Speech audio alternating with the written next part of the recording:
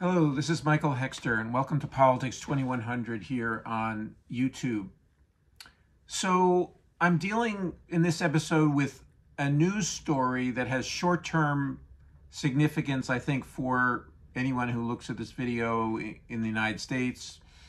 and also, but then longer term uh, implications for uh, politics and uh, in the United States, and also just the health, I would say, of our um, uh, government or governing uh, features of, you know, in in the government. Okay. anyway, so um, this story is about uh, COVID nineteen and the monitoring of COVID nineteen that the uh, Centers for Disease Control does, and I am uh, I was called my attention was called to this by a tweet by Eric Feigl Ding, who's a epidemiologist who is kind of a watchdog for epidemiology overall, and and particularly has played a uh, a very crucial role in uh, alerting people about COVID nineteen and develop developments in COVID nineteen. Uh, he's kind of a popularizer of, uh, or or also an advocate for better public health in the United States, and so um,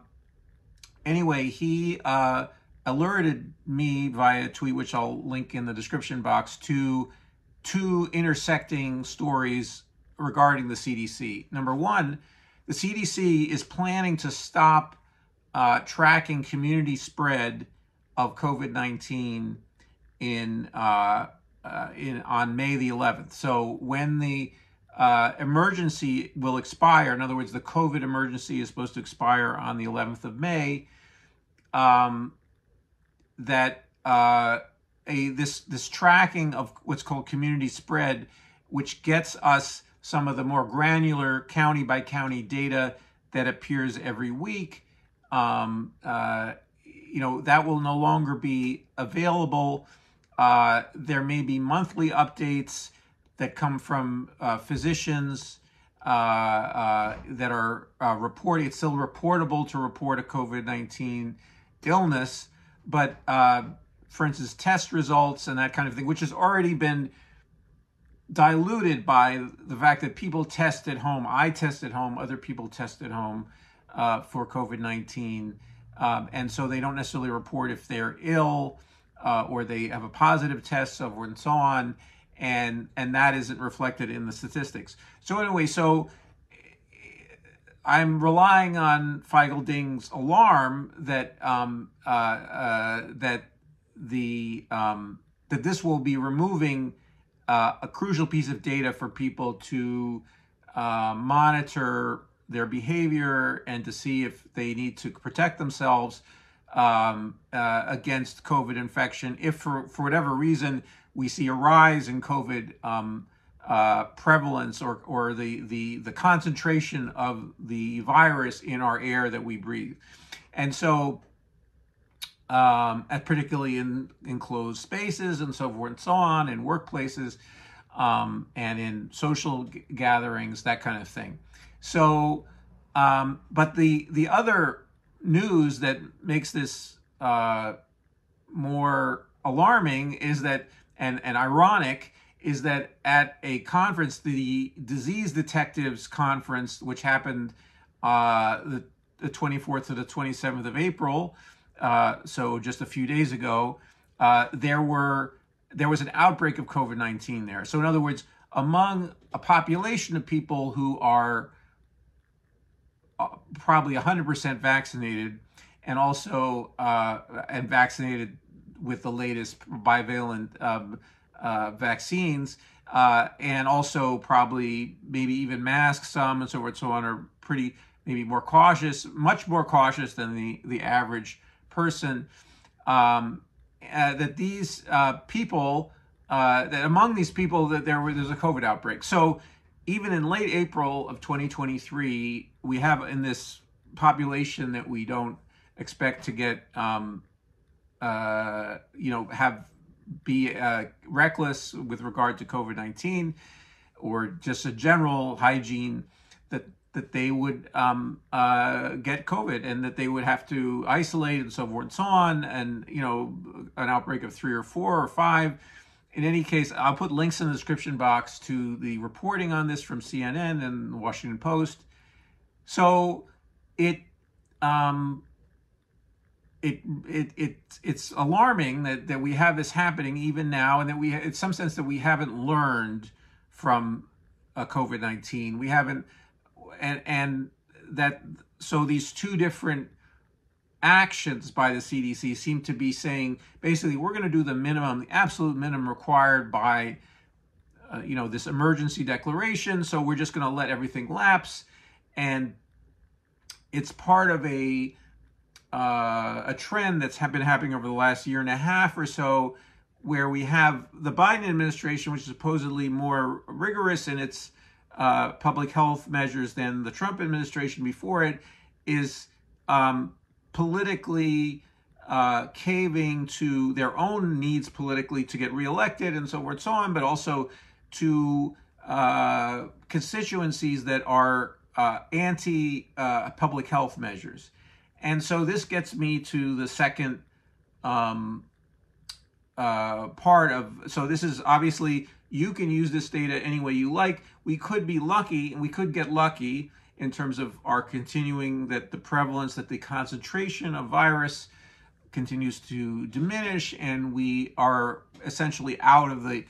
uh, COVID 19 pandemic within a couple of months. Okay. So uh, it's being treated now in the new regime as another infected, uh, a reportable, but still just like flu and so forth and so on. It's not part of this structure where we're giving people as granular a notice as we can, given all the problems with home testing and people not reporting and so forth and so on. Uh, if they are ill, uh, or you know, unless they become uh, severely ill and they need, then they get hospitalized. Okay, so hospitalizations will con- continue to be tracked, and that's uh, easy to to track. But that that's a lagging indicator uh, of of infection and of of the prevalence of the virus uh, uh, in the population. So they will be treated. They will be testing wastewater. So that's something that is a forerunner of potential upsurges in prevalence. But it also there it, you're missing some pieces in between of that. So anyway, so closing that so you can use that as you will in your life if you can structure your life accordingly. But then the more um, uh, general problem there is is that I see in Politics 2100 and also that it has my vlog portion of Politics 2100 has has emerged during the COVID-19 pandemic. In other words, I've started doing it then that um, uh, that public health is one of the key indicators of the the you would say the uh, administrative health of uh, a government of a, of a system of a of a social system of a civilization you could say in the civilization to, you need a state to be doing things to have a civilization this is something that the right wing in their cosmology in their ideology they they see helped along by the way by some bad social science originating in economics, neoclassical economics in particular, that somehow there's an economy or a society and upon it is encrusted a state. But instead, the state is really a part of your the uh, the state being governments, okay, governments and their bureaucracies and so forth and so on, um, are part of a civilization and are and create the the the grounds in which you can have, among other things, trade and so forth and so on, and all this, the bartering and the the the, the that that supposedly in neoclassical economics is the basis, the foundation, what happens before you have a government coming down and quote unquote regulating this sort of free market that uh, that spontaneously occurs. So anyway, so the the the um,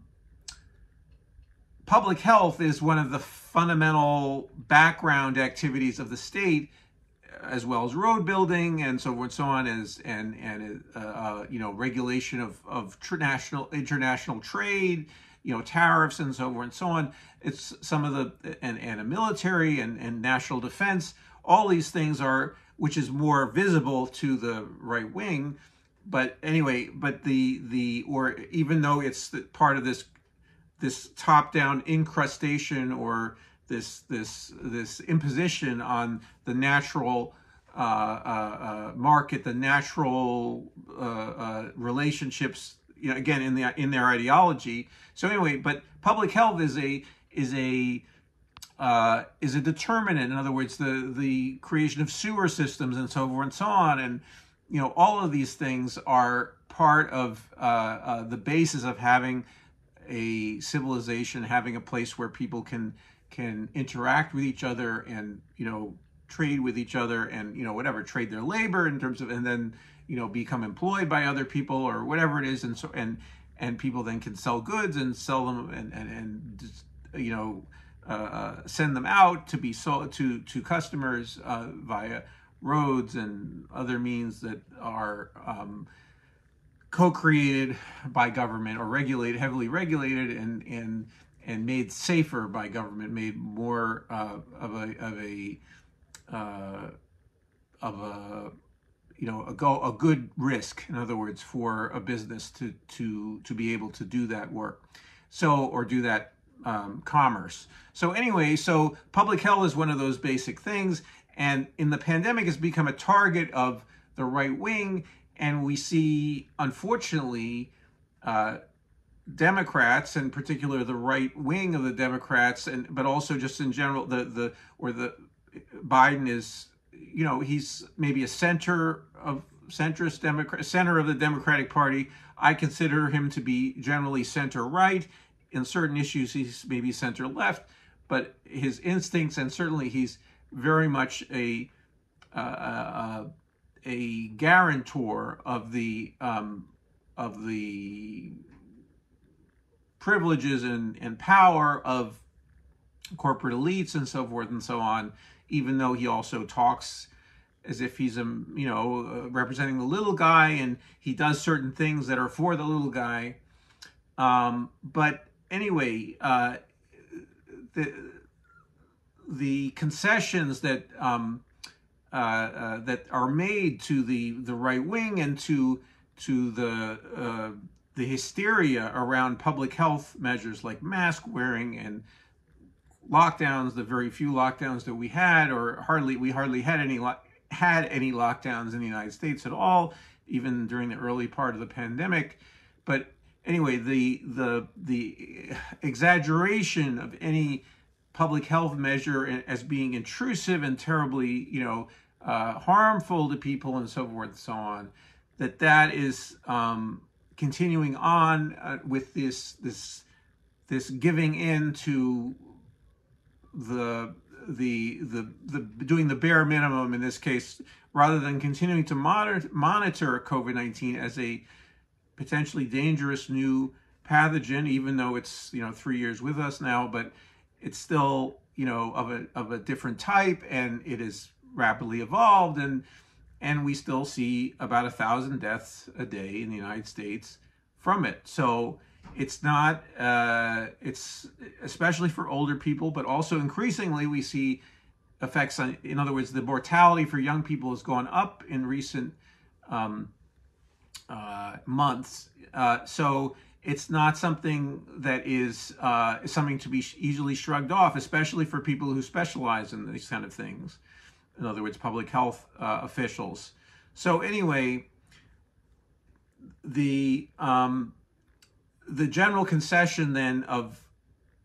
uh, government giving up on government services. In other words, one of the government services is monitoring diseases and trying to prevent them and trying to manage and and create, you know, intervene at times in certain processes that have become independent of, you know, that are not part of uh, government functioning on a regular day-to-day basis, but the government can step in sometimes say, you know, don't do that because of public health, so forth and so on. So anyway, uh, that has been uh, mostly conceded to the right wing and to their sensitivities and to their ideology. And um, and I think uh, there needs to be a forthright uh, defense of uh, government um, uh, stepping in sometimes when in a crisis. Now, right now, we are not looking at so much at this this as a uh, emergency, and this health emergency is um, supposed to expire on May the 11th,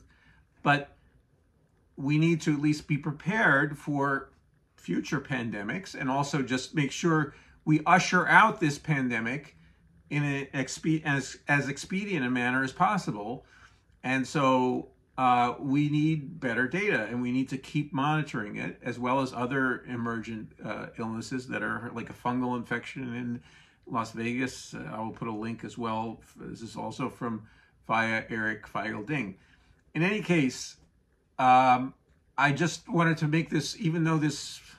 vlog, this this channel is not devoted to public health per se or to COVID-19. Uh, it's a public issue of public health that is very important and it, for everybody in our society. And it's also uh, an example of how uh, government is part of you know our survival and our thri- eventually thriving and also our commerce and so forth and so on and that you know it's not just a a position or it's also a guarantor or a, a ground creates the ground for which you can then for instance do commerce. And so anyway uh, or you know uh, uh, feel safe in the public in the in the agora in the whatever in the the uh, the both the public sphere more generally the civic in civic life and then also in specifically in mar- the market portions of that civic public space or even the virtual well obviously in in cyberspace you know that biological element is um, is uh, almost is reduced or eliminated entirely um, but we also live in real space as well. So anyway, um, I just wanted to put this out there and uh, as a public service announcement, as a you know a pointer, and uh, in any case, share any thoughts you have in the comments. And I look forward to also please subscribe to Politics 2100. Look forward to uh, seeing you in the next video. Thanks.